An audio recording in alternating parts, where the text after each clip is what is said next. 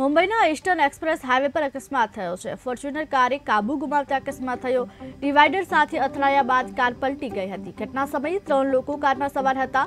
Fortuner car signal ઉપર આવી અને બંધ થઈ ગઈ હતી.